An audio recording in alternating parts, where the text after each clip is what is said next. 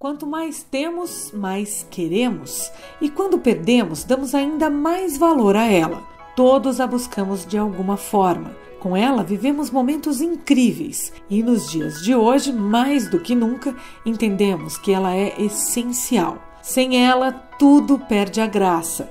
Ela não escolhe aparência, cor, gênero ou classe social.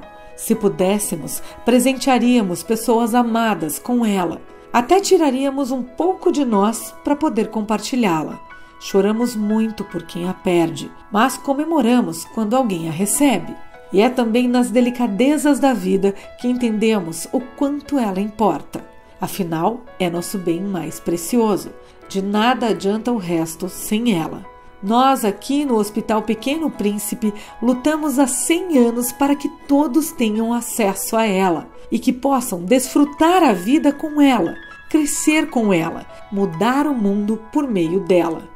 Ela é a saúde. E hoje desejamos que cada um viva plenamente, com saúde em abundância.